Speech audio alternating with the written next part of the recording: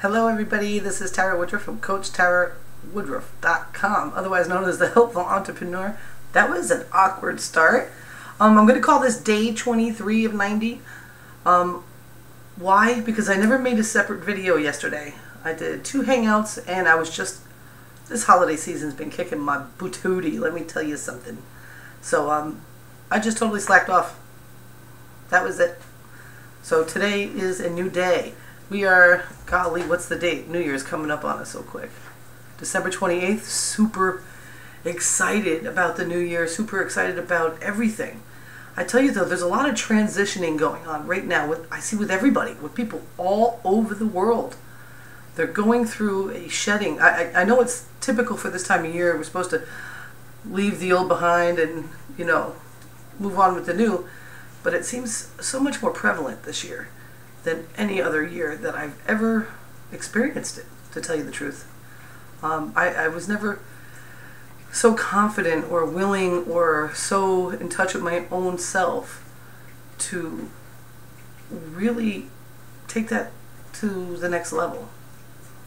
You know, I'd be happy about seeing the year go away, but you know, I 2013 was an absolutely amazing experience for me, um, in so many different ways in so many different ways. It just blew my mind nonstop. And it, I learned so much value. I learned so much value. And I learned a lot about myself and where where I stand on things. You know what I'm saying? You know, sometimes people don't love themselves enough to stand their ground. They they just don't. And I used to be like that. And after the past few years, I really am done. So I've made a new uh, a new thing, and it's it's not relatively new, but it's maybe new for me. Like I said, this is a new year and a new way of really looking at things. Is I am going to be sure that when my gut feels something, even the slightest bit, no matter what's invested, I'm done. Um, I watched a couple of videos by Tyrese and he was talking about that.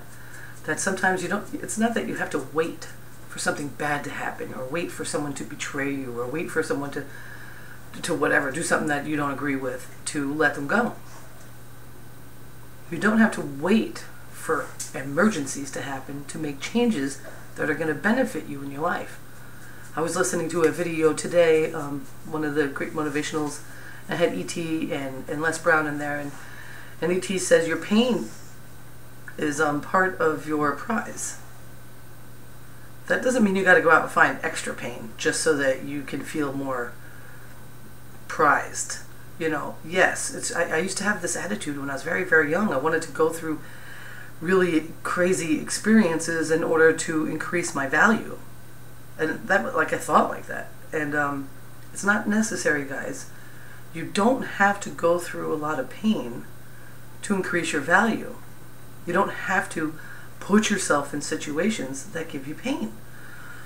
So, when my advice or, or whatever you want to call it right now is that, you know, listen to your gut when it first speaks to you. Because I've discovered that when the universe reacts, it reacts faster to folks that do that faster. If you truly listen to your inner guidance system, things start happening for you in the world. And um, for that, I'm really grateful because I notice it all the time. And when, whenever I have a, a question, all I have to do is look inside and I have the answer. Because I've, through my life and through my experiences, I've learned many answers.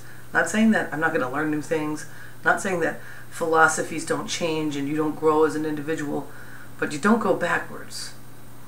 Don't go backwards, guys. Keep focusing on moving forward.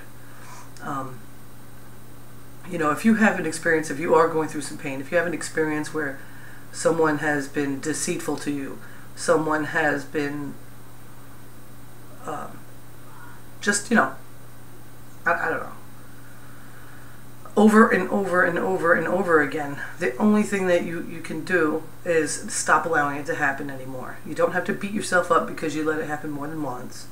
You don't have to, you know, what, question your, your whole ability to make decisions because you let it happen more than once.